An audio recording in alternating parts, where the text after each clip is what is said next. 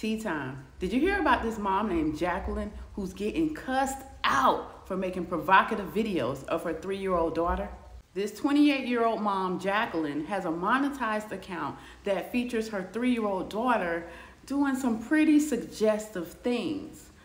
You can see her being dressed up with makeup and pouty lips, you know, posing for the camera. You can see videos of her bouncing up and down on a, um, on a horse. You can see her doing a guess the drink challenge where she's blindly trying to guess which drink comes up out of the straw, but she spends a lot of time with the straw in her mouth moms all over are angry with her saying, hey, you know what you're doing. You're exploiting your daughter and you're feeding these men's fantasies and you need to stop.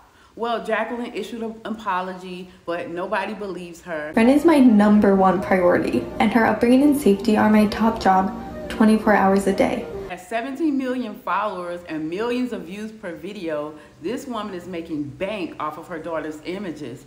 And even though everybody's mad, she doesn't seem to want to stop. Have you seen Jacqueline's videos? What do you think? Is she exploiting her daughter for TikTok? Leave a comment.